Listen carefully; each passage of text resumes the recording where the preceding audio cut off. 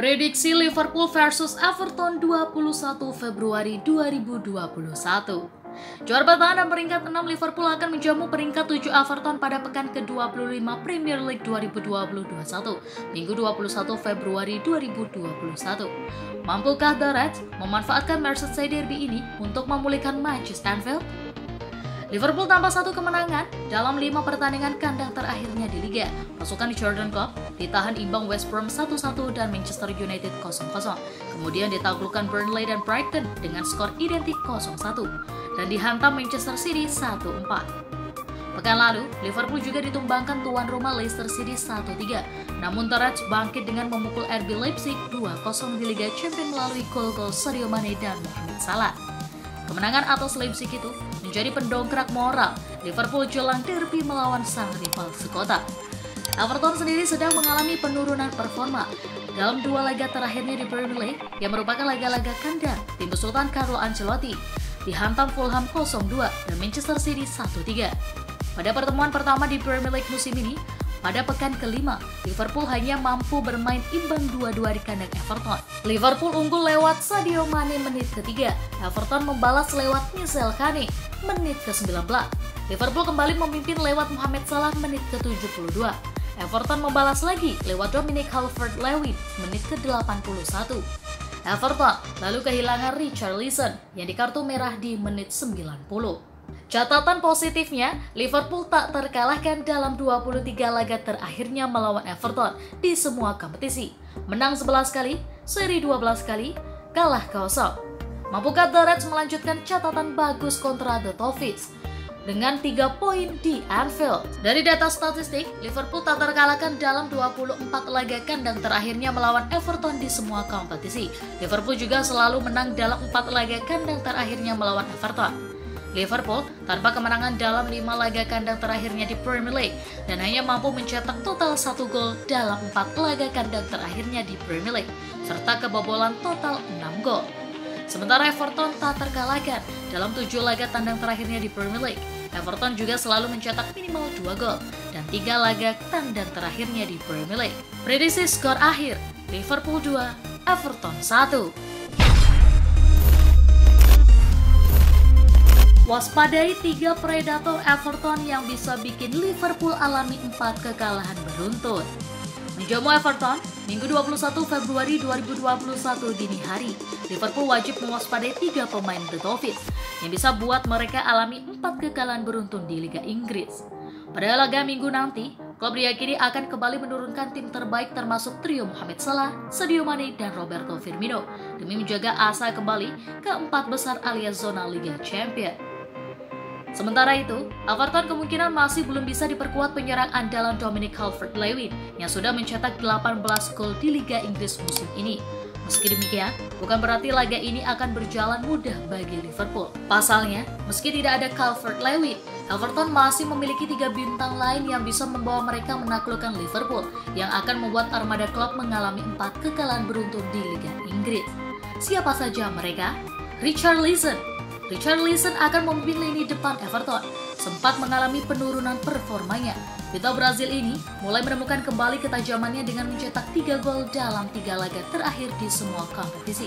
Dengan kecepatan dan serta penyelesaian akhir yang baik, di belakang Liverpool wajib mewaspadai Richard Leeson yang kerap beroperasi di sisi kiri pertahanan sebelum kemudian menusuk ke tengah untuk melepaskan tembakan. Yang kedua, James Rodriguez Menjalani musim pertama di Liga Inggris bersama Everton sejak didatangkan dari Real Madrid, James Rodriguez menunjukkan performa yang cukup baik. Dari 17 pertandingan di Liga Domestik, bintang Kolombia ini sukses mencetak 5 gol dan 3 assist. Menghadapi Liverpool, James Rodriguez akan kembali menjadi andalan Carlo Ancelotti di lini tengah dengan kemampuan mencetak gol baik lewat permainan terbuka maupun bola mati, dan kemampuan memberikan assist kepada rekan setim, ia akan menjadi ancaman besar bagi The Reds dari lini kedua. Yang ketiga, Lucas Dean. Satu lagi ancaman untuk Liverpool justru berasal dari lini belakang Everton, yakni dari Lucas Dean sang back kiri. Bintang asal Prancis ini telah mencetak 6 assist dari 15 pertandingan Liga Inggris musim ini, melebihi dua andalan Teres, Trent Alexander-Arnold dan Andrew Robertson. Dengan kemampuan umpan silang, yang baik dan kegemarannya maju hingga berkati kotak penalti. Lucas Deep akan memberikan ancaman tambahan bagi sektor kanan pertahanan Liverpool yang sebelumnya sudah harus berhadapan dengan Richarlison.